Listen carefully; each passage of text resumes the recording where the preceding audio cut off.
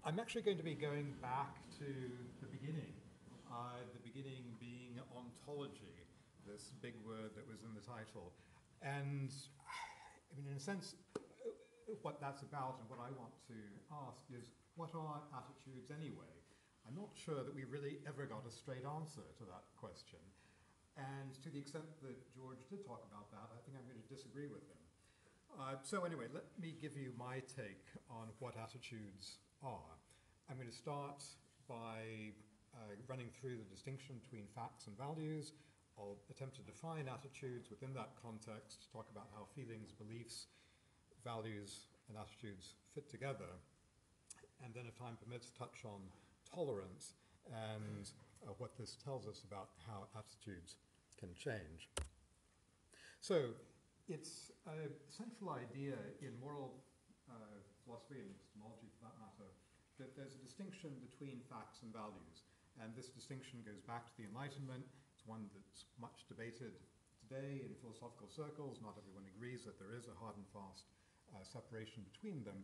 But I think for our purposes, it is useful to uh, separate the two things. On the one hand, we have matters of fact, that is to say, descriptive statements that can be true or false. And then on the other hand, there are matters of value. And these are statements that either uh, normative or prescriptive or evaluative, uh, one way or another, either explicitly or implicitly, they involve notions such as good or bad, right or wrong, uh, ought or ought not, uh, the common wording in survey questions should or should not. So, just to give you some examples, uh, smoking causes cancer. That's a descriptive matter. It may be true, it may be false uh, may be difficult to know whether it's true or false, but uh, if we are social realists, then we think that there is actually a truth to the matter. Uh, on the other hand, smoking should be banned uh, is an evaluation, and that's something that we can argue about, but there's nothing empirically testable about uh, the, the should or the should not. To give you a slightly more difficult example, the statement that Mother Teresa was only concerned about others. Uh, it's probably difficult to uh, work out. We'd have to agree what we mean by only concerned about others and so on, but I think uh, it's probably fair to say that that's either true or false. Um, Mother Teresa was an example to us all. That's something that I think is an evaluation. We can either take the Hitchens view that uh, she was a pretty nasty character underneath, uh, or think that she was saintly. Uh, but in any case, there's a debate to be had that's essentially a kind of moral debate uh, about whether she is or isn't an example.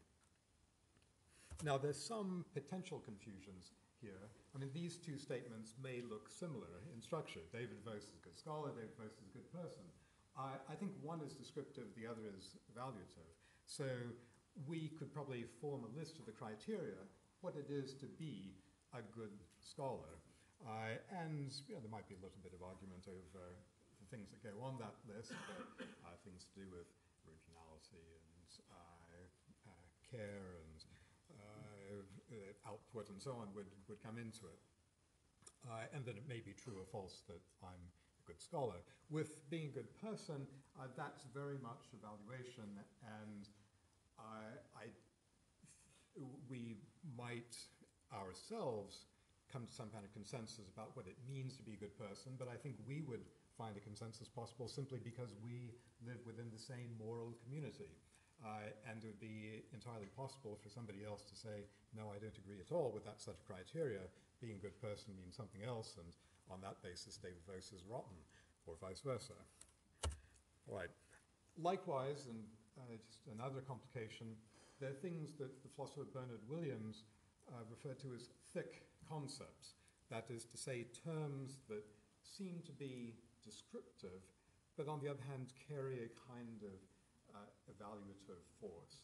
So, uh, the notion of being considerate, for example, uh, is such that if you met a certain number of uh, uh, criteria, you could judge somebody to be considered, considerate but then immediately would come to uh, a sort of evaluation of the person as a result.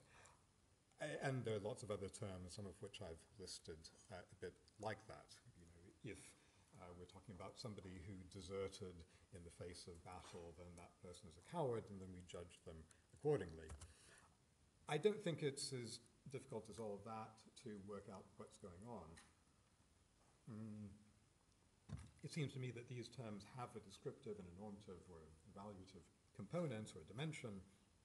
Those can be considered separately. The descriptive uh, statement is indeed either true or false, um, but the judgment we make of that bundle of facts uh, depends on this moral framework that we either do or don't accept.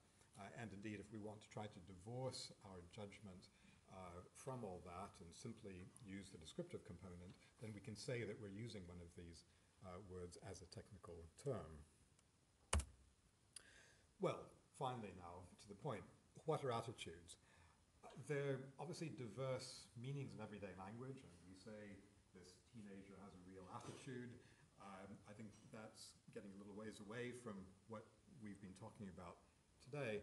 Uh, what I want to do is try to formalize this concept in a way that respects normal usage but isn't bound by it and will be helpful in our social scientific discussions. And I'm going to claim that the account I give is actually better at doing that than uh, you know, some of the alternatives.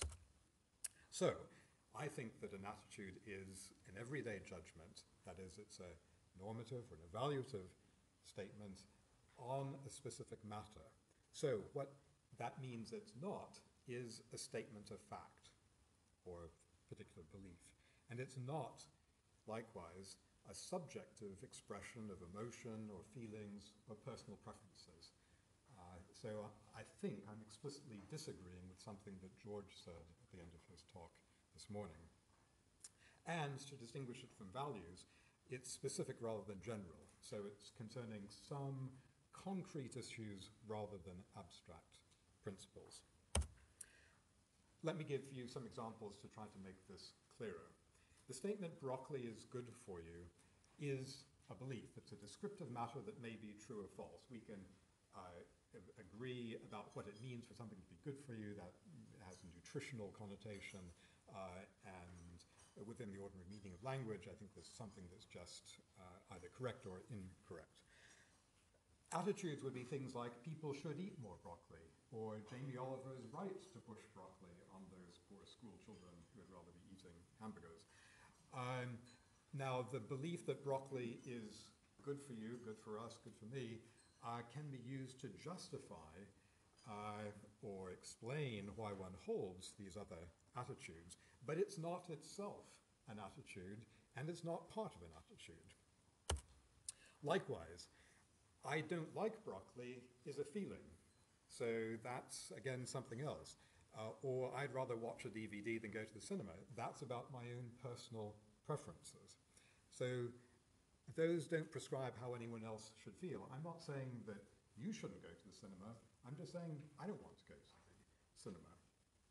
Uh, if, on the other hand, I say going to the cinema is a waste of time, then I do seem to be legislating for you as well as for me. I'm making a general statement that seems to apply across the board. Uh, and in that case, I think it is an attitude. So what I'm saying, and this is arguably ontology, it's maybe epistemology, but anyway, it's to do with there being three separate realms. I think on the one hand, there are descriptive matters of fact, those things are true or false. There are evaluative matters about what's good or bad or right or wrong or should or shouldn't happen. Those are the evaluative side of things. And then there's this subjective realm of feelings, emotions, personal preferences. Those are three different areas that I think shouldn't be confused, and in my view, attitudes belong as part of that evaluative or normative uh, realm. Now, the immediate question is well, how do they uh, differ from values? Because values clearly are, are to do with valuations. Well, I think values are general principles, they are more abstract than attitudes. they're potentially capable of being, if you like, the higher order uh, judgments from which one then derives the more specific uh, judgments that uh, are embodied in attitudes. Uh, maybe, although I'm not so sure about this, uh, values can, at least within particular situations, be ordered so that we say which ones prevail over others. Uh, to give you a specific example, if we're talking about immigration, that's a topic on which we will have attitudes, pro or con, uh, but the relevant values here are the higher level considerations to do with the importance of in-group loyalty on the one hand or uh, protecting the disadvantaged on the other. Well, where do attitudes come from or how do we explain them? Uh, as I said, they're about things that should or shouldn't happen, or good or bad, and so on.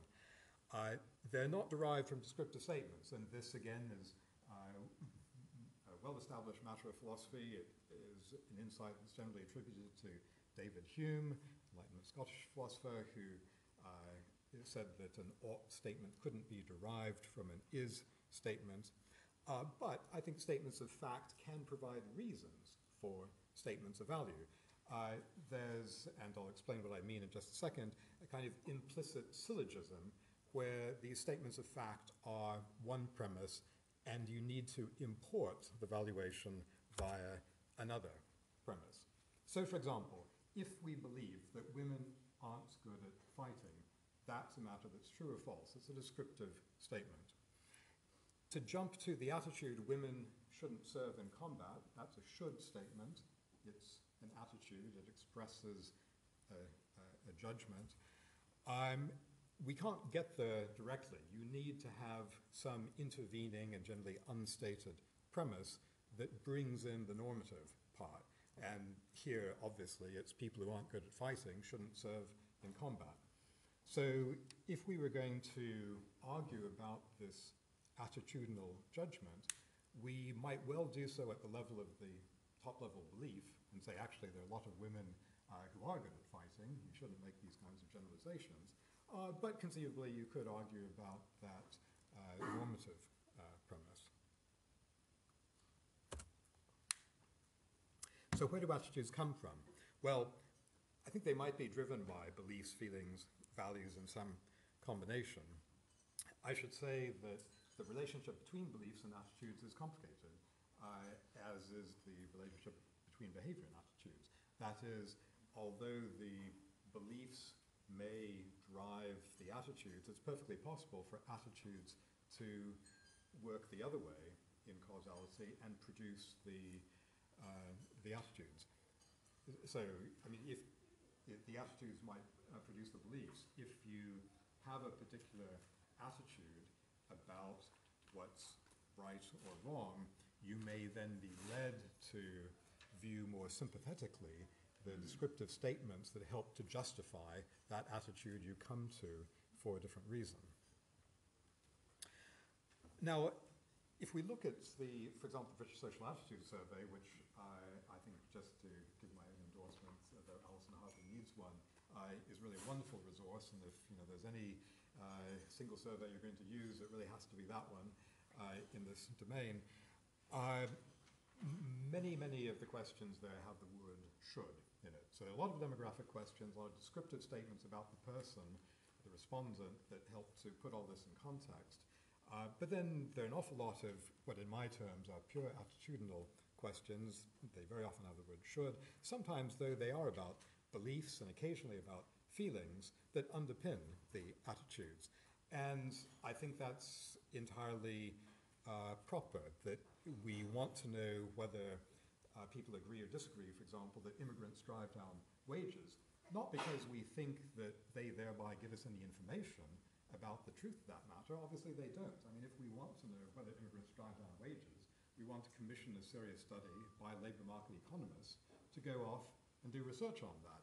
But we're interested in whether they hold those beliefs because it is clearly related to their attitudes about immigration and can help possibly to explain why they have those attitudes or alternatively what, how they justify those attitudes that they have for some other reason. let me talk a bit about tolerance now, which I think is in some ways a special case of uh, attitudes and a sort of interesting one. In my view, to tolerate something means to be willing to permit a person or a type of person X to do a kind of activity Y. Um, and um, sorry, I seem to have lost something in the middle here. I, am going to be focusing on uh, I, I, think it is possible to talk about tolerating Y, where Y might be something like abortion or drug use, and to miss out the X. Um, but that's typically not how we think about tolerance. We think about uh, tolerating some kind of person. So that's uh, the way I'm going to do it. Yes, okay, so I've uh, filled in the, the middle bits there. Um, so, what are the elements of tolerance? Well, we have feelings or beliefs uh, about the types of person X, the types of action Y. Uh, we think that Y is or isn't significant or important, and then we give varying degrees of weight to different values that uh, may uh, lead us in one direction or another. So, I'll just give you an example here. Let's imagine a survey question where uh, we're asked whether we think that we should continue to allow Somali refugees to settle in Britain. Well, this is going to be affected by beliefs and feelings about Somalis, beliefs and feelings about immigration, uh, beliefs about the importance of immigration as an issue, uh, and then values connected with all that. So, to be more explicit about that, uh, we might have kind of uh, positive or negative views about Somalis. Those are going to be descriptive statements that are true or false. Feelings about Somalis, things like racial prejudice that uh, are relevant. Likewise, beliefs about immigration and its effects, feelings about immigration. Uh, and then, and here's the slight wrinkle that I think is kind of interesting, beliefs about whether immigration is even something important to worry about. Because if we don't think that actually it makes very much difference one way or another, uh, we might be prepared to see uh, immigration continue, not because we're particularly pro, but simply because we see no strong reason to be anti. And then, of course, there are the values. And these are to do with perhaps higher level concepts like the importance of free movement, uh, helping the disadvantaged, protecting native uh, interests, or uh, worrying about the impact of people with different values coming in, and so on. How does this kind of analysis help? Well, I think that distinguishing feelings, beliefs, values, and attitudes uh, helps us to understand the sources of tolerance and intolerance. Mm. And that to the extent that we want to promote tolerance, it guides us in thinking about what strategy is most likely to succeed. So uh, if beliefs turn out to be important, then we have to think about which ones those are and how they might be changed. If it's a matter of feelings and you know, whether it's prejudice or some other kinds of feelings, then there are different uh, set of issues around uh, how those might be altered. And then finally, if it really does come down to values, and the reason that people differ on these issues is because they have different sets of values, then uh, that leads to yet other conclusions about the sort of strategy one would use if you're going to try to change their, their attitudes. Let me give you just one example. Um, I haven't had time to uh, provide you with much in the way of empirical uh, work here, but I'm going to uh, just quickly uh, tell you a little bit about uh, some work that I've done. And the question is, are people intolerant in specific cases because they disapprove of particular characteristics or because they generally dislike outgroups? Uh, and I'll give you some examples of what I mean.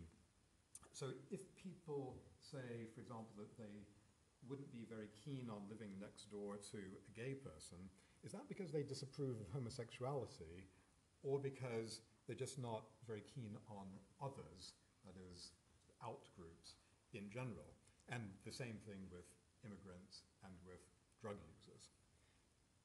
Well, the rather remarkable finding is that subjective intolerance has a larger effect than disapproval of whatever the defining characteristic is. So, uh, just to tell you briefly what the, the model was, uh, we had a battery of questions, this is from the European Values Study, on groups of people you uh, wouldn't like to live next door or have as neighbors. So those would be, you know, gays, Asians, etc., etc.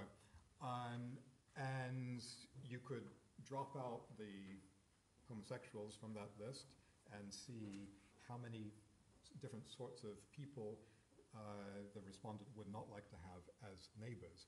And that turned out to be a better predictor of whether they would not like to live next door to a homosexual than the respondents' views about homosexuality.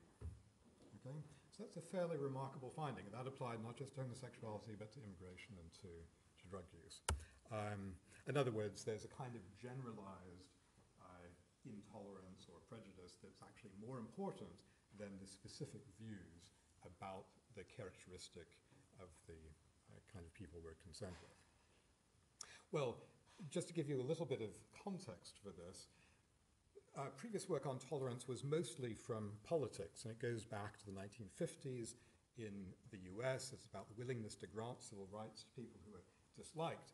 And uh, it was typically in the 50s, but then, for the reasons that Alison explained, these questions have uh, carried on being asked for years and years had to do with how you felt about communists, socialists, and atheists uh, being allowed to speak in public, to teach in universities, and so on. Um, well, over time, people have gradually, in America, become more willing to see communists, socialists, and atheists do have some of these civil rights, uh, from which it was very tempting for many people to conclude this is wonderful, we're becoming a more tolerant society, extending civil rights to uh, large numbers and so on. Actually, I think the kind of analysis I've just given explains what's going on. It's not that Americans love communists more than they did before, it's they simply see them as less of a threat. Um, they, or it's, it's, sorry, it's not that they are more committed to civil rights than they were before, it's that they have uh, either less negative views about those particular groups or they simply see them as less important and so not worth worrying about. Um, and more recent work has tended to suggest that actually uh, there hasn't been so much a value shift in the direction of greater tolerance as um, some of those, those results were seeming to suggest. A more sociological approach has typically been on prejudice, sometimes just to do with feelings as measured by a feeling thermometer. For example, on a scale from 0 to 100, where 50 is neutral, how do you feel about uh, uh, some particular type of person? Uh, another approach has been the social distance uh, inventory, particularly the Bogardus scale, where uh, someone is asked whether they're willing to accept a particular kind of person as uh, on the one hand, a close relative by marriage, through to, at the other uh, end of the scale, not even have in the, the country. Well, just to sum up, my claim has been that what attitudes are, and that's the ontology bit of the title of the whole symposium, affects how they should be measured.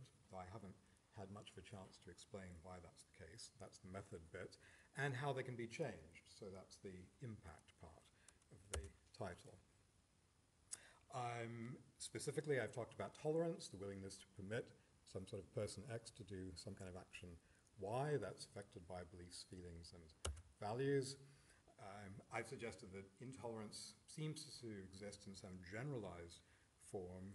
Um, I think it's also plausible to suggest that it applies to multiple contexts, so multiple Ys as well as multiple Xs. In fact, um, you know, you could define different kinds of prejudice or intolerance uh, about uh, the, the, differing relationships between kinds of people X and the sorts of things that you would allow them to do. Um, eh, intolerance, I think, can't be explained simply as a consequence of a disapproval of some specific characteristic. Uh, it's more likely to result from a general distaste for people that are different.